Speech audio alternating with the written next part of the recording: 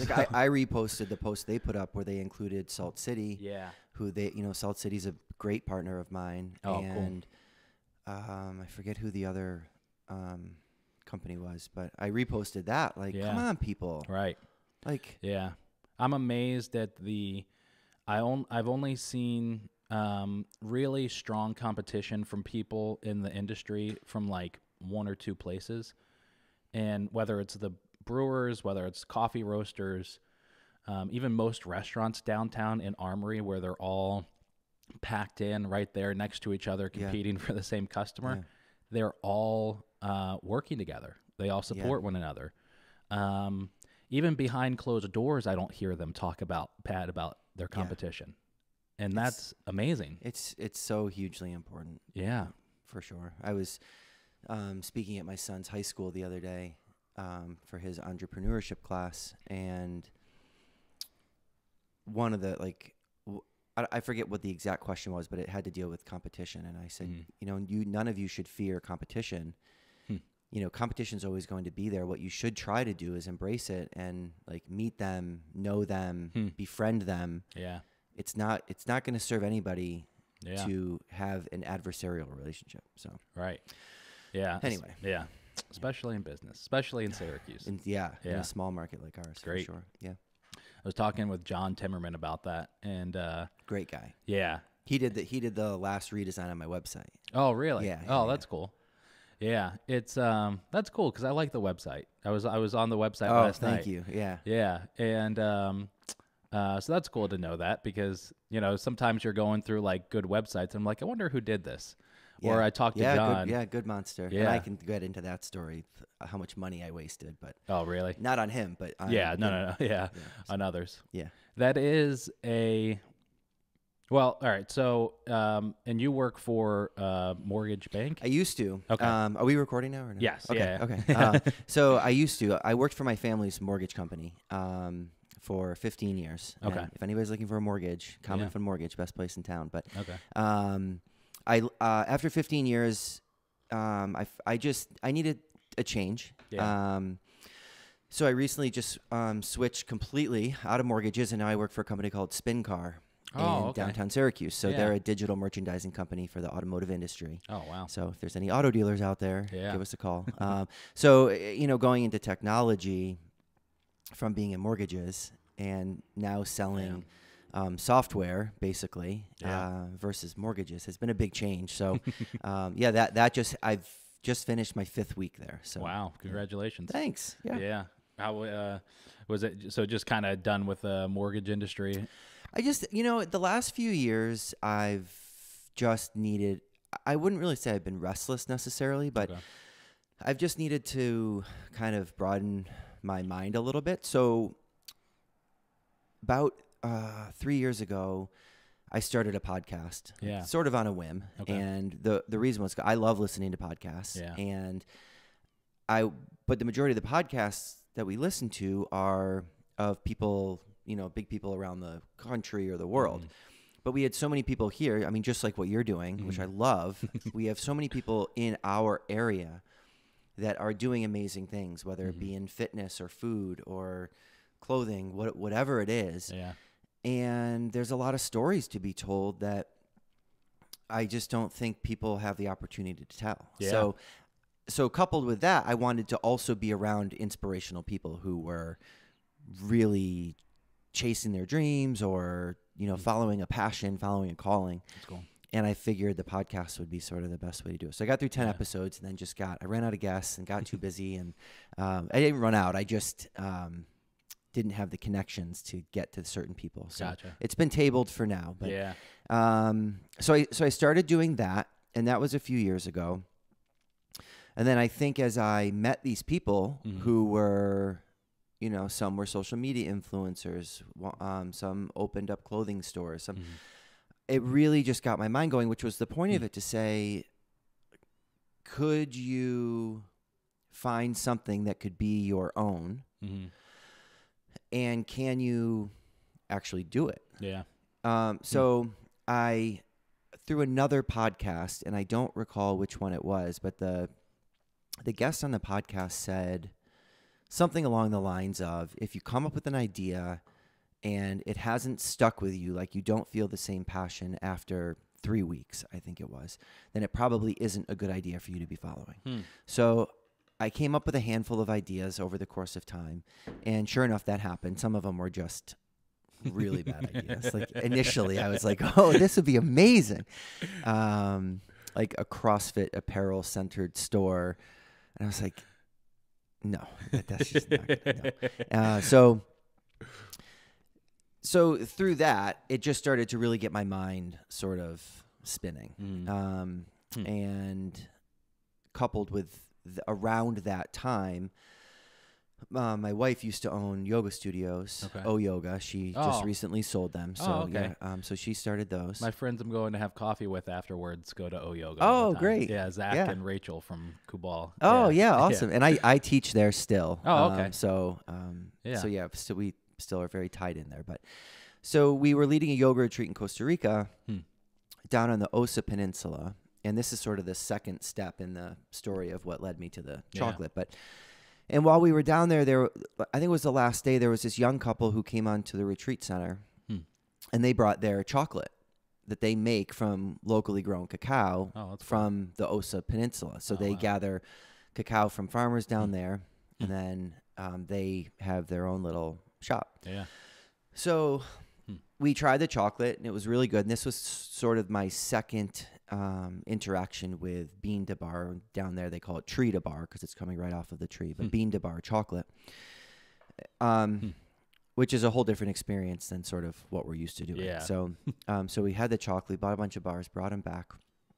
We got back. My wife left shortly thereafter to go to New York for uh, training with her teacher there for yoga. And while she was gone, it, I was out driving Hmm. around running some errands, and it just popped into my mind where I said, "Well, if these people in Costa Rica can make it, and Mhm. Costa Rica is our favorite place or one of our favorite Oh, places really? on the planet to visit, Hmm. so I hold it in very high regard. But it's doesn't have the infrastructure that we have, doesn't have the ability to get goods and pro.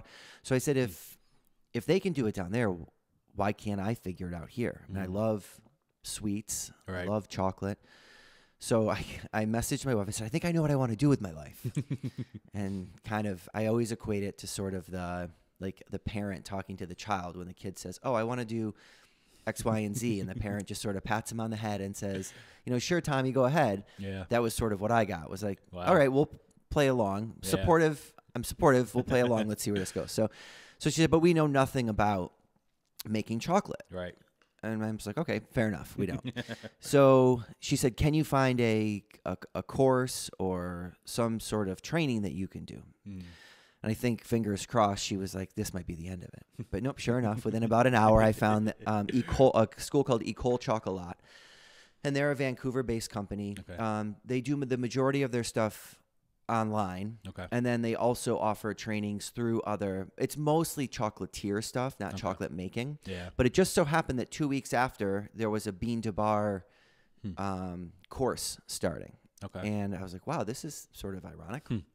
So signed up for the bean to bar course, and um, that took about two or two and a half months. It Wow. was writing some papers, but the majority of it was reading Mm. and. Oh, did you have to go out there for that, or was this No? I could do it all right in my kitchen, That's which was great. Yeah. But then it was also a lot of it was tasting Mm, chocolate. So basically, each week or every other week, we had to, and a lot of people roll their eyes like, "Oh, poor you," but we had to taste chocolate. Of so the first tasting, for instance, we did was we had to find a high quality like bean to bar chocolate bar. Okay. We had to find a bar of baker's chocolate. Hmm. We had to find like a what is considered a high end, like a Lindt or a Okay. Godiva or Toblerone, Hmm. you know, dark chocolate. These were all Yeah. dark. And then the last one was we had to find those couverture wafers. So those Mm, yeah. Things that I used to shove in my mouth as a child. um, so that first tasting was so unbelievably eye opening Hmm. to my perception of chocolate. And this is coming after the tasting's like a week after the education. No, it was the first tasting. So it was like the Ah. first assignment. Oh, And then. I had to write Hmm. like the flavor profiles and my experience. And so Hmm. when you go from tasting the bean to bar chocolate to then any of the others. The baker's chocolate, oddly enough, was probably the next best. Okay. Oh, really? Yes, oddly enough, because you got to the you could immediately taste the added oils and things that were even in like the we I picked up a Toblerone bar, so even in that. Okay. Yeah. Uh, but then you get to the the couverture wafers that you buy in bulk at any grocery Yeah. store, and it was just like you were eating vegetable oil. Hmm. And we all just looked at each other, and we almost didn't even know what to say. Wow. So then the tastings went on. I had to. Then it was tasting. Um, one of them was tasting bars from the different regions of the world. So cacao only grows 20 degrees north or south of the equator. Yeah. So the only place successfully growing cacao right now in the U.S. is Hawaii. Yeah. And I know you were just there. Oh, yeah. Uh, so Yeah. The, um, the Dole plantation had, uh, I think they have, uh, whatever. They There was definitely like, you could see trees with the cacao pods Yeah. on it. Yeah. yeah, and there's some. There's one large maker who's doing great work out there. Hmm. Um, so we so we had to try from like Mexico, Latin America, Hmm. South America, um, the s- sort of South Pacific area. Uh, I think we got a bar from India, Africa, um, and Hmm. and then you and then your mind just starts to go how different it is even with high quality bars buying from all these makers Mhm. that are making in you know small-ish batches Yeah. just how different it tastes and even when you're tasting the same cacao so like my madagascar bar i buy the beans from fruition fruition chocolate down in the hudson valley Mm. and brian and dahlia graham are they're doing amazing Hmm. work and their bars are in my opinion some of the best that you can buy Really? but like my madagascar bar tastes drastically different from their madagascar bar Hmm. for multiple reasons but um you know so you really just start to experience this whole Yeah. world of flavors that Hmm. you don't ever really know existed because we just assume dark chocolate especially is just dry and chalky Right. and Yeah. it might one might be a little creamier than the other but generally speaking it all tastes the same Yeah. Can you get high quality chocolate in the grocery store? well so there's in my personal opinion Yeah. not around here Okay. um, even the even some of the places that are carrying some of the more expensive bars they're they're oftentimes mass produced yeah. um, That's what I'm thinking is like, uh, you know, I mean, God knows what it looks like right now, but Wegmans, they ha- you know, there there's all Yeah. the fancy wrapper, you know, and so you see that and you might pay an extra dollar or two for a bar of chocolate and think that it's something great, but at the end of the day, it is mass produced. Yeah, it doesn't compare. So if you were to seek out a bean to bar maker, Mhm. and there are some large scale makers that do sort of pass themselves off as a bean to bar maker. Mhm. And if you start to taste like high quality chocolate from different makers, you'll very quickly pick up on the ones that are really doing the work Okay. and the ones that are not. So, sort of the way it was put to me was the current step in your chocolate making process is only as good as the part that came before. Okay. So if at origin Hmm. they do a bad job growing it, no matter how good the fermentation or my roasting or my making is, I'm not going to Hmm. make up for poor growing. Yeah. If if the fermentation gets messed up, then the I can't fix it if I mess up the roast. No Mhm. matter what I do when I'm grinding the chocolate down and liquefying it and whatever, I can't make up for a bad roast. You're right. So, um, a lot of times in when people are buying the chocolate f- from the larger scale makers, even though it might be a bar that you're paying a little extra for, usually where it's sort of gone wrong is in the roasting phase because they just roast everything the same. Okay. It might even be lesser grade cacao, so just mass grown cacao. Hmm. And but the roasting part, just like with coffee, Yeah. is really where a lot of that and the fermentation at origin are the two places where the flavor development of the beans is really brought out. Okay. Um, and so, yeah. I was just going to say, like, I think of uh, coffee, for example. yes, you know you find some amazing coffees at these small uh, farms that they don't make enough to don't produce enough to sell to the mass federation Yep. and so you wind up finding this amazing coffee is that kind of the same thing when it comes to cacao yeah, it is very similar. So you sort of have to separate West Africa from the rest of the cacao growing part of the world. okay And that's starting to change, thank goodness. Mm-hmm. Um, but historically in West Africa, it's been mass produced, Hmm. run by basically the farmers have been more or less run by the governments, Hmm. which are then sort of run by the big chocolate Yeah. conglomerates. Right. So the farmers don't. I don't want to say they they don't have the ability to do better work, but they don't have the money to do better work. Gotcha. So the the bean to bar industry was started by you know started in a few different directions. I know that Ask the guy that owns Askinosie chocolate, he's probably one of the more prominent ones Mm. in the trend that has happened in the bean to bar industry now. So okay. about 10 or so years ago people started going into especially the Latin American countries Hmm. and the some some of the Caribbean areas and meeting with farmers helping them learn better processes because they were just basically letting their cacao crop go like just leaving it because it just Mhm. wasn't a money making thing for them Gotcha. a lot of these farmers are small they're on 10 hectare farms so Mm. you know that's i don't know that hectare to i think it's double acreage so figure it's maybe 20 acres Wow. but they're having to still grow lots of other crops in order to not only feed their family but also make money Yeah. so people started going into these countries and working with the farmers to not only learn better farming practices, more sustainable farming practices, but also start start to centralize their fermentation. Mhm. So, Okay. um, you know, similar to like fermenting an alcohol, basically Mhm. what happens is they put the all of the cacao beans into bins, cover them either with burlap or palm leaves, and then Hmm. they let them sit in there for a couple of days where it heats up, temperature grows, alcohol starts to form, and then from there they pour them into a next bin, and it kind of goes its way down the line over the course of four to six days. Does that have does that happen at where they're growing it? Yes. Okay. Yep. So just like what you were saying with the coffee growers, where there Mhm. might be one really small, you know, like John Smith is down the road and Mhm. he's got X number of trees, but it's not enough.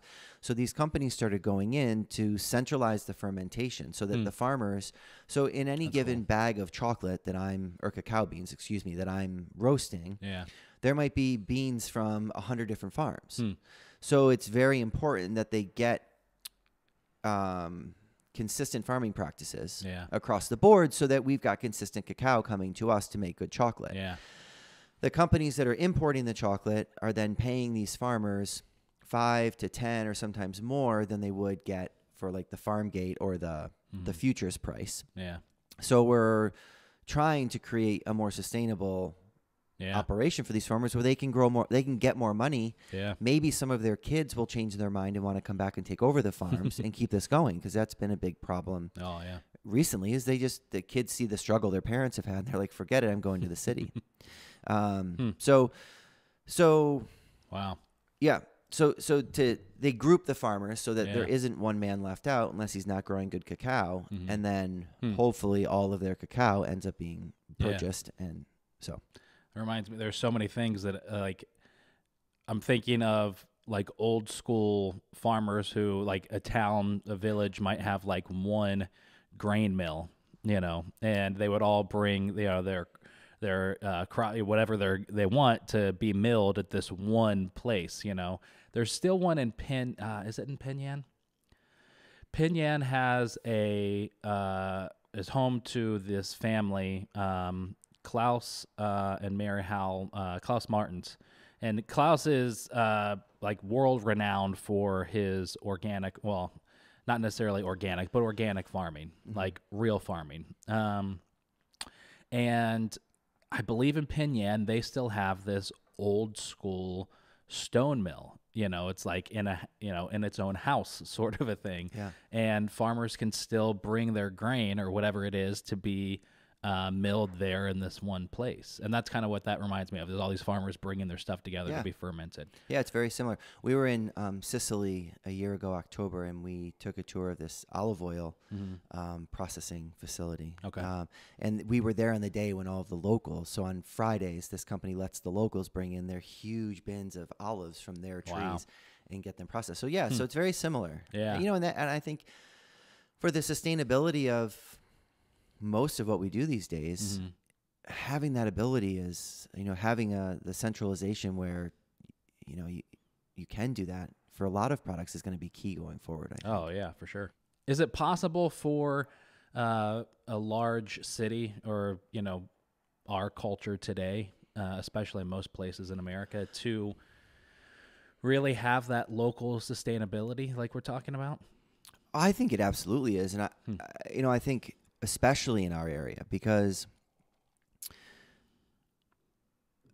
you look at all of the farming that we have, Mm. and all of the land that we have, and all of the you know pasture land, and and I think it for sure is. You there's um my friend Chad who owns the vineyard out in Cazenovia. Mm. He's a hop processor. He Okay. grows his own, but Yeah. he also has a huge machine that was brought from Germany, I think. Hmm. And so he allows other hop farmers in the area to come and he'll process their hops for him. Oh, so a situation like that, Yeah. you know. So and then you look at a place like Nelson Farms in in Yeah. Nelson that people who have jams or jellies or Hmm. maybe want to can cold brew coffee or whatever it might Yeah. be, that's a possibility for them to go Hmm. to a place like that to then get their product out. Hmm. So I think I think it absolutely is, and, and I think very slowly we're maybe returning to that in Okay. some instances. yeah. And I think we could, in more instances, people just need the actual feet on the ground, the makers, the they need to start to come together and say, okay, if we're all going to make a business of this, Mhm. we need to have one central butcher, or we need to have one Yeah. central canning facility, or you know, my you know, and, and with all of the CSAs we have, Yeah. you know, with their extra crops, Mhm. like they could all get together Yeah. and you know whenever there's an excess or they've got extra stuff or you know they just call the other CSA and say hey Hmm. here's my thought can we let's Yeah. do this and then we partner on it and Yeah. then it, we split the bill and we split the profits but so yeah I I I, I absolutely think it is I I don't think there's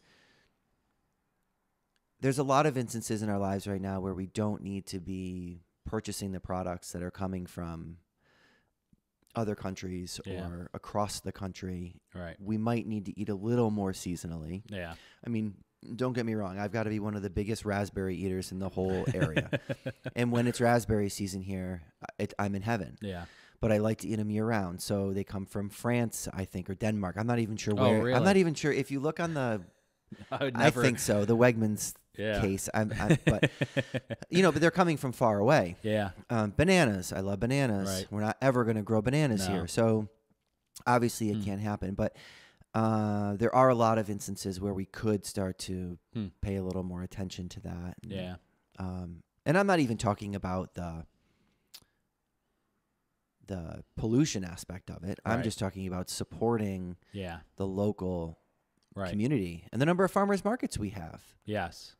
Yeah, it really is. I don't get down to the regional market nearly enough. And obviously, that's kind of like one of the bigger ones, but um, there's so many other smaller ones. And I don't get down there nearly enough. And whenever I go down there, I'm just like, wow, this is absolutely amazing. Yeah.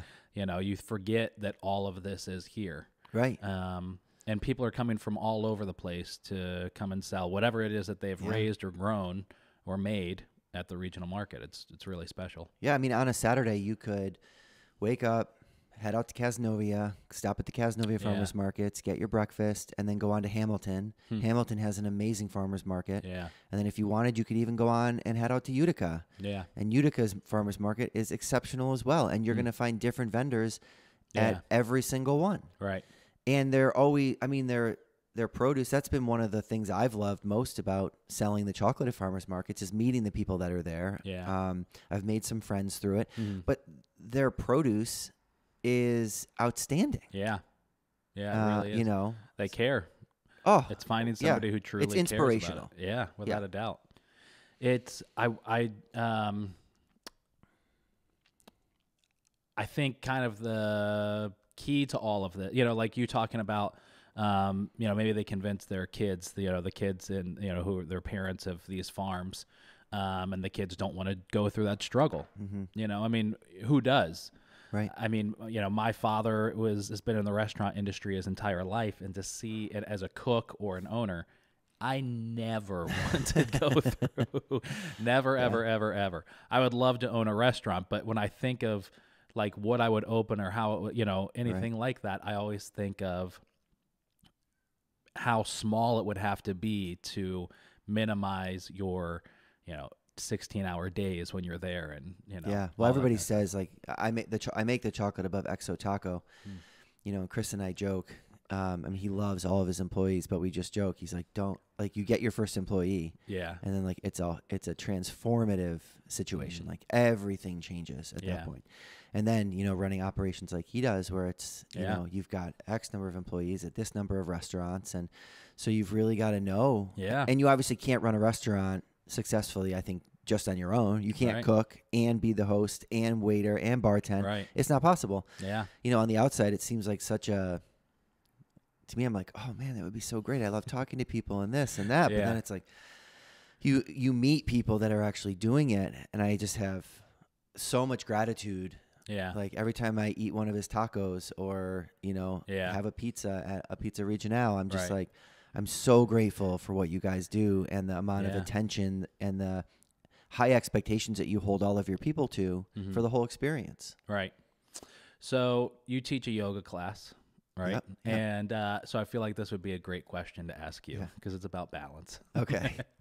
But talking about this, you know, um, the business, our the Eat Local CNY has three uh, employees that are side hustlers, and Yeah. so they are people who have full time jobs and they, you know, work a few hours a month uh, for us, but um, take a huge load off of my shoulders um, because now I don't have to spend as much time up. And we hired a, uh post scheduler for all of our clients, and uh, my wife has thoroughly enjoyed that because now Sundays have gone from me sitting on the couch scheduling out the Yeah. post for the whole week to not knowing what to do with myself, you know. So there's things like that that are absolutely amazing about having it.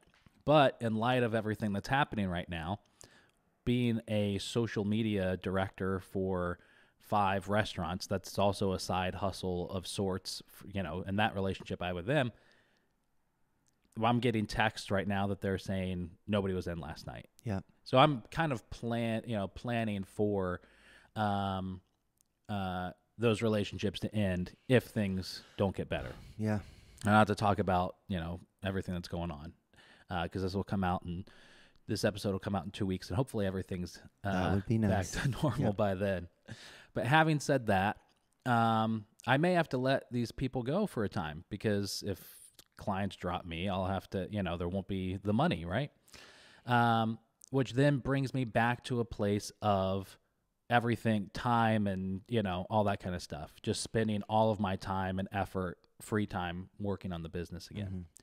so the question is this even when you're trying to build something how do you do that and still have balance because i feel like you know like chris with you know his restaurants that are wildly successful Mhm. it feels like it has to become if you're going to do that it has to become your everything. Your entire all of your waking hours and attention and everything has to go to that. So how do you balance those things? Well, I think it one, I think if you're passionate about it, um, it becomes less of a chore and more of a like I'm up, I'm excited, and even though I'm gonna have to face this HR issue and this delivery not coming in, and yeah I think you that just falls in line with what your what your goals are. Mhm. First of all, okay so for me, I went from complete freedom of my schedule, Mhm. being on straight commission, you know, coming and going from my last job at Common Fund as as I pleased. yeah So I could go to the chocolate shop and I could do the work I needed to do and go Yeah. back to work and you know, to now being eight thirty to five thirty, which yeah I haven't been since my first job out of college. So it's been sixteen years since I wow you know, 17 years probably since I Hmm. had a fixed schedule. So Yeah. it's been a big change for me. So I- I really needed to, and this is where the, you know, your yoga part of the question came in. I, I really looked, turned to that and said, Hmm. you just can't put pressure on it.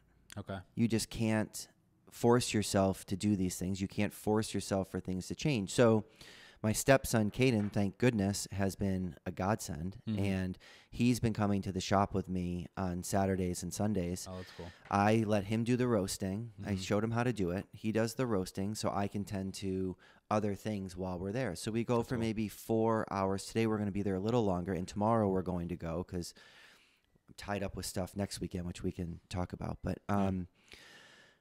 So I just said to myself, you're you're you're only able to do what you can do. Yeah. I also like to work out. I have to go to work. I like to work the do- I like to walk the dog. I like to be with my wife. You know, so you've got to just figure out what your limits are. Okay. And Hmm. you know, I think the for the restaurant part of it, you'd like to think that there's going to be some level of let me back up. I think people just need to take a deep breath. Yeah. In yoga, we do a lot of breathing. and I think, you know, last night I came home from work and I was frustrated and, you know, just annoyed because there was going to be a change in my day to day going into next week. But Mhm. I woke up this morning and I just kind of looked around and I said, okay, look at all these things that we do have to be grateful for. Hmm. And I have, you know, I'm lucky that I do have my primary job. So that is available to me Yeah.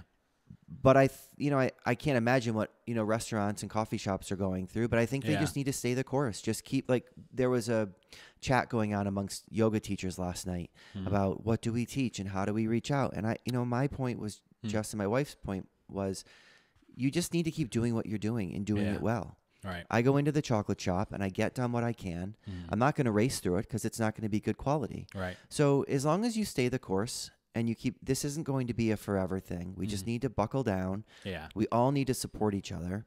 Hmm. People that aren't in the food industry need to get out, get fresh air. Yeah. You don't need to be a shut in. So Right. get to your local coffee shop, Yeah. get to your local restaurant, support the people Mhm. in your community who are there. Support and I'm, this goes beyond just restaurants. Right. You know, and I would say to the people that are concerned about it, the the marketing thing, any marketer will tell you the last time you want to cut back on any marketing, Mhm. especially something relatively inexpensive like social media, Yeah. is when things are going downhill. Oh yeah. if for sure. anything, you want to double up Yeah. and figure out other ways. Hit the ground, like right. reach out to people, do something out of the box. Yeah. You know, um, so I, you know, it's a very scary time. I know that for fitness places, it's a Mhm. scary time for them because people are concerned. and Yeah. Maybe there's a maybe there is a reason to be concerned, and maybe there isn't. Right. So you need to decide: are you going to go on about your normal life and just and that's kind of my attitude. Be careful. I'm Yeah. careful every day. I Right. wash my hands. I'm, you know, yeah. My wife is a dietitian and um and and I've a brother a brother who's in um uh high level federal government and talking with him who he's kind of a always prepared type of a person you know he's not like um, um he doesn't have like the food store buckets like in, Yeah. you know when nothing's happening yeah, he's not he's, that re- he's ready to he- go. yeah, when he's ready go awry. yeah. So he and I were having a conversation the other day on the phone, and Rebecca was in the car, and you know, I, we got off the phone, and she was just like, "Can you stop, please?" You know, and, and I don't, you know, it it really is. It's it is putting things in balance with how you're responding to this stuff because it's it there's no point in being terrified or panicking about um COVID itself. Yeah. You know, it's um it's knowing kind of your surroundings. It's knowing how, you know, others are kind of reacting and things like Sure. that. And being able to keep uh I think a distance with that and not kind of and by keep a distance, I mean don't jump into kind of the, you know, everyone else's panic along with it, Yeah. you know. And I understand why people are. There's, you know, it's uh, just because I'm not doesn't mean I can't see why people are. But right. you know, like my yoga teacher said, and I would say this to everybody: like this thing that's going on right now is not you. It's not who you are. Right. So who you are is something that's not is unchanging. Yeah. So look inside yourself. Yeah. Take a closer look at that. Worry less about everything that's going on around you, Yeah. and just support the people that are there. Support your restaurant. Support your coffee shop. Support your the retail stores. You Yeah. know, don't you know? It's it's Yeah. we got to keep moving forward. I have a feeling that it's uh, when whatever all of this ends, uh, there's going to be a lot of people that kind of uh, are changed from it and in a better way. Yeah. That are, I mean, myself last night I logged off Facebook for the first time in years, Yeah. and I do it for a living, but I still I logged off of you know, and Yeah. I mean even saying that seems a little silly because it's a social networking app, but I still logged off of it, and it was just like this is doing no. You know, nobody. No, we're just at a point now where it's yeah, it's just it's repetitious and yeah. not helping. So yeah, So, you know, one thing that kind of uh, I think is in kind of encompassed in what we've just been talking about, and that is, um, it's a little different for me. Like I do have a goal one day of, um, uh, well, my, my family grew up always vacationing in Skaneateles, and so even when I was younger and we lived in Kentucky, uh, my dad being from here, all of our vacations were to Skaneateles. Um, we never went to Disney or anything like that. It was always Skaneateles for a week or two. And uh, at times, my you know our family has had places out there, but even today, we all rent a house in Skaneateles and go out there for a week every year. And so one of my goals is to one day have a nice house that is on Skaneateles Yeah. Lake, right? So there is something like that where that's going to require money, and you know I'm really going to have to kind of make the business work. Um, aside from someone who has a goal or a dream like that, um, someone who just wants to work at a business, like I think, like going back to the farmers in you know Costa Rica, wherever it is, where their kids are going to the city, uh, they don't want to deal with the struggle.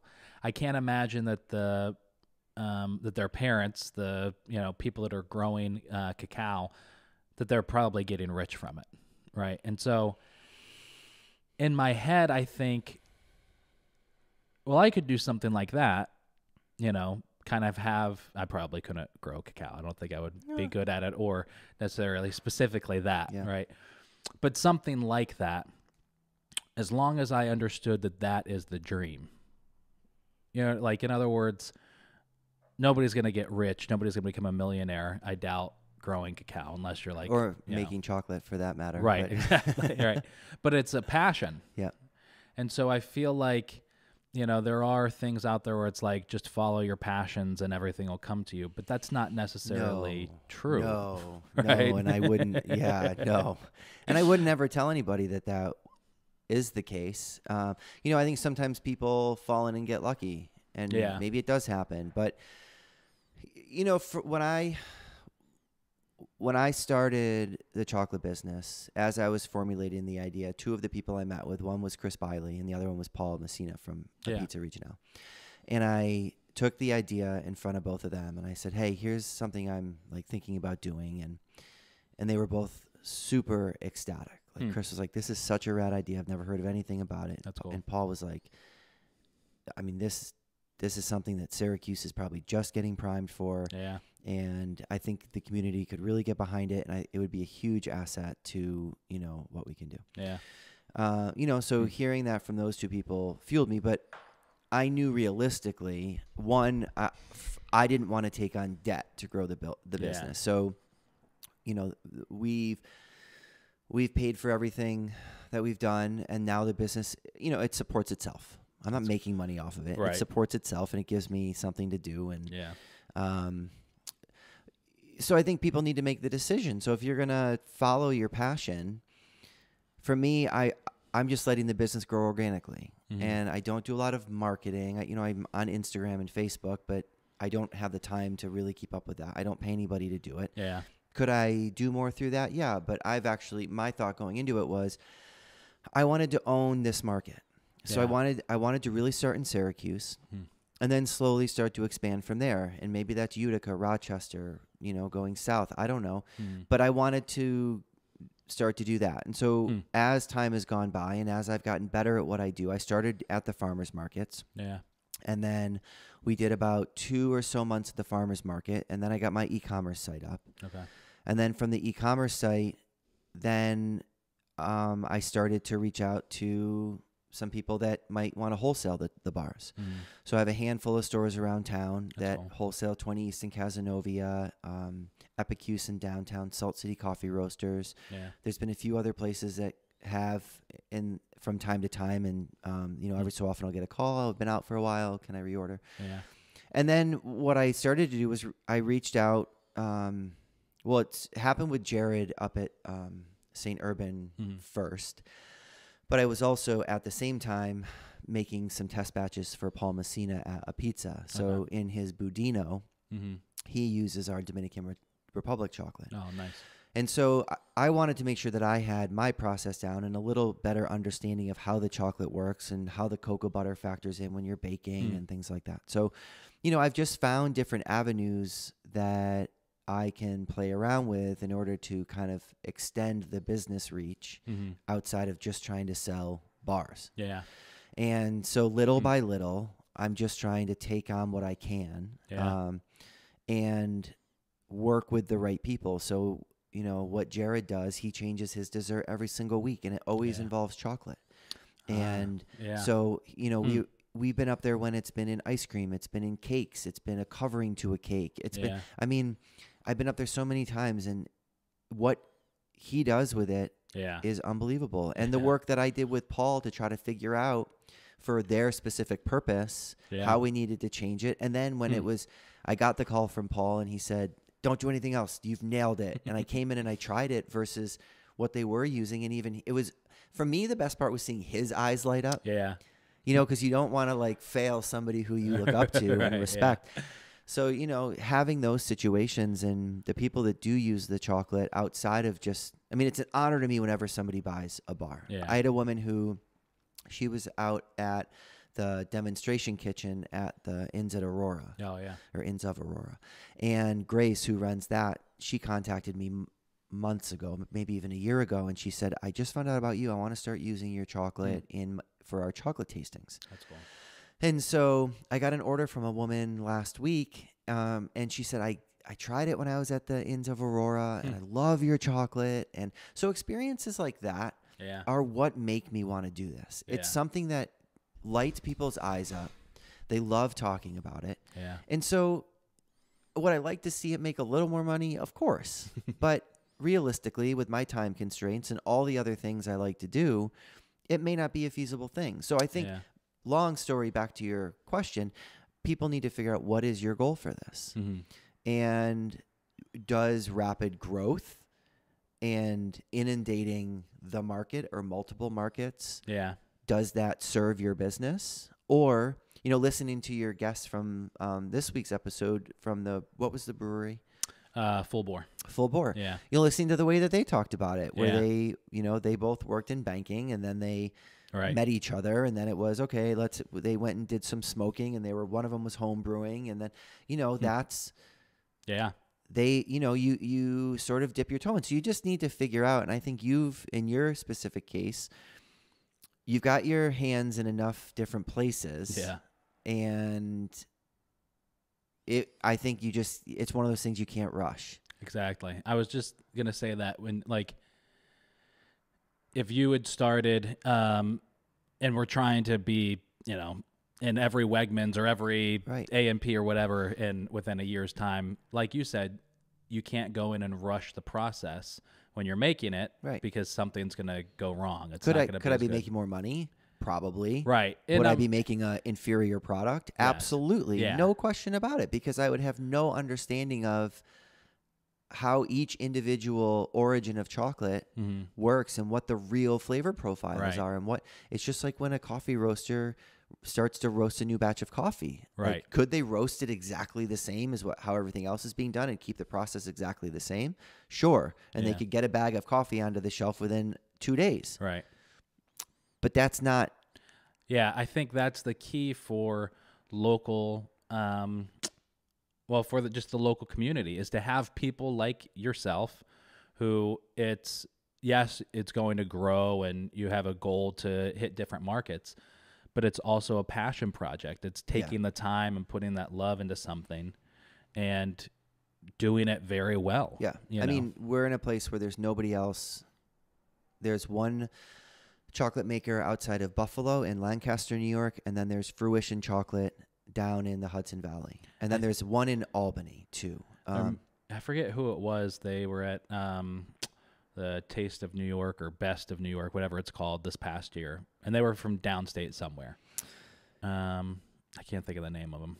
so there's anyways, a few yeah. there's a few around so i could have come in here and said okay i'm going to take a business loan and I, nobody else is doing this so Right. obviously like there's an opening Yeah, but just because nobody else is doing it doesn't mean that you should be putting out a product. So I think I think the focus always needs to be whether it's you know the social media work you're doing or the stuff at Gerhardt's or wherever. Yeah. The focus always has to be on, and I think Chris said this to me. He's like, get your product down, Mhm. like make an amazing product, Mhm. and then worry about brand, and then worry about this, and then worry about that. Yeah. You know, the T-shirts come way down the line. Right. Yeah. So, you know, get your product down, get your process in place and Hmm. make that like do that. Like don't just rush to open a restaurant Right. because you've got access to the best grass-fed steak that there ever is.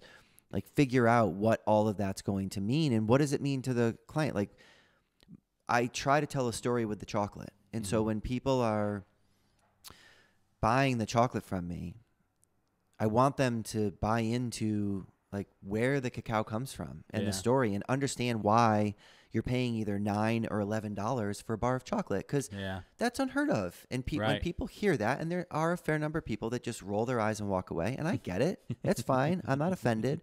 But there are also a lot of people Hmm.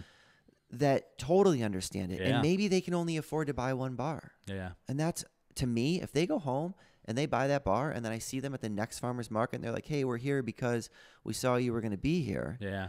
And I have some regular customers, and it's always an honor for me to have them come back and buy another bar of chocolate. Yeah, yeah, that's that really is amazing. Um, it remi- your your story and doing this and working with like you know and talking about the local farmers um, from where you're sourcing it reminds me of a family who he the the dad was a missionary of all things in Thailand hmm and when he was there realized that there were these small local coffee farmers that were just had nothing to really be able to sell um, to like the mass federation. And not even like they were only producing 500 bags you know. I mean they were producing like a bag Yeah. you know. Um, and he wound up um, starting this coffee company where basically uh, he would take as many as much of the coffee that they could produce and take it to a facility. And granted it's not specialty coffee. It's you know it is like ground and you know pre-ground and then pre-packaged small packages all that kind of stuff. But now what he does is when it's um, off season is he takes all of these coffee beans get the, gets them ground and packaged and then travels the country. He's still in the church community. Yeah. and so he'll go and instead of getting up in the pulpit and talking about whatever, he gets up and talks about all of these farmers that are, you know, that they've been able to like support their families. And now, you know, new families that were, you know, maybe struggling, you know, financially for whatever reason, now are able to have this life providing for the family, growing coffee that they then sell to him. And he now travels churches talking about it and then selling coffee uh, to the churchgoers at whatever church he's at. And this is now this crazy cycle. And Yeah. every year they're, you know, bringing new farmers into the mix. Well, it's a huge ripple effect too. I- You know, I- don't think um, we ever think enough about the effect that our purchases Mm-hmm. have on like the world around us. Yeah. and you know taking the time you know for those people that are chocolate lovers to seek out what i'm not saying just from me there's probably 300 or more bean to bar makers across the uh, just our country Mm. um, that not only helps the community where the, it's made to a certain extent but it also uh, if you buy the right chocolate it's helping our whole world because Yeah. you're, it, that money's going back to farmers who are trying to do stuff in an ecologically positive way Yeah. and do it in a sustainable way and those tropical areas around our around our world that are just getting destroyed are some of the most important that we have as far as the future goes Yeah. and so making it so these farmers can afford to keep their land and they're not selling out to the the pineapple farms and these Right. large plantations and Yeah. don't get me wrong i love pineapple but um, you know it's we've got to hang on to some of that Yeah. stuff and you hear about all this stuff that's been going on down in the amazon rainforest Yeah. and like our decisions Yeah. impact those areas and trying to cut down on the plastics that we use and finding products that have more recyclable aspects to it or more reusable aspects to it. Yeah. It all makes such a big difference. Yeah, without a doubt. Well, Tyler, thank you so much for coming down today. I really appreciate it. You know, coming down on a Saturday. Yeah, I've been here. a big fan. I'm uh, Yeah, it's an honor, honor to be here and Oh, keep doing what you're doing. So, yeah, thank you very much. Yeah.